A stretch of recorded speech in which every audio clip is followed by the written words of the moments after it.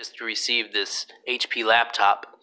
It's model 15-BW011DX for only $229.99 at Best Buy. It's not super high specs or anything. It's good for just basic use, surfing the web, reading email, maybe some light gaming. Here's the packaging. Power supply is right in here. Here is this pretty basic laptop. Has a black textured surface. Has a DVD drive, USB card reader, two more USB ports, and HDMI out, Ethernet port.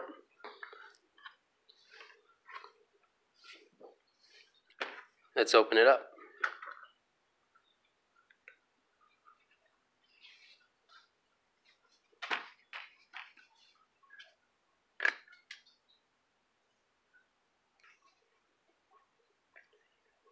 There's a webcam up there.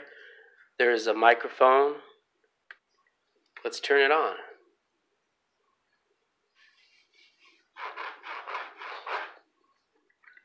This has an HD display. This has a 7th generation AMD quad core processor.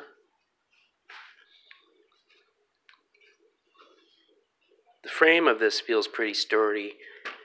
It doesn't feel flimsy. It's pretty rigid plastic. Has that texture on it. Touchpad has individual buttons rather than the completely flat surface of the click pads. You have the opportunity to set this computer up with Cortana. I chose not to. Finally, the setup is complete. It took a long time, um, but it's here. I'm going to go to a screen recorder now to look through some of the features.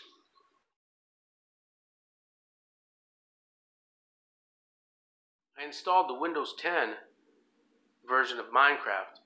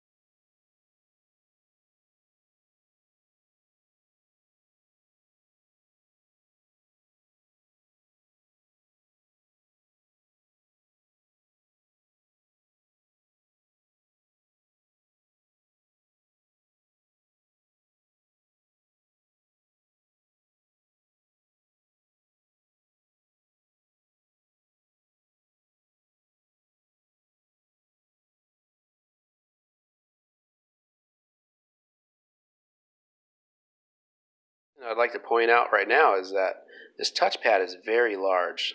You're not cramped when using this touchpad. It's very big. There's really not that much to say about this. It's just a basic laptop. Um, there are no special features. It's just a computer that will get normal everyday stuff done. The keyboard feels nice though. The touchpad's big. It has a 500 gigabyte hard drive.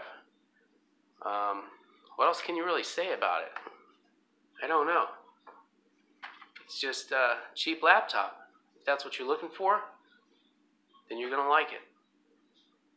I noticed some of the reviews were kind of harsh, but I wonder if the reviewers are expecting too much from this.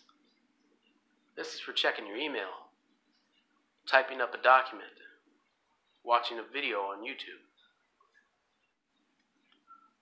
I noticed that the BIOS doesn't give you any option to increase the memory available for graphics.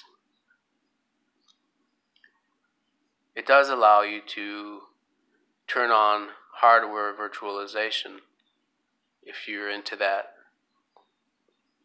Yeah, nothing special here, but nothing special expected.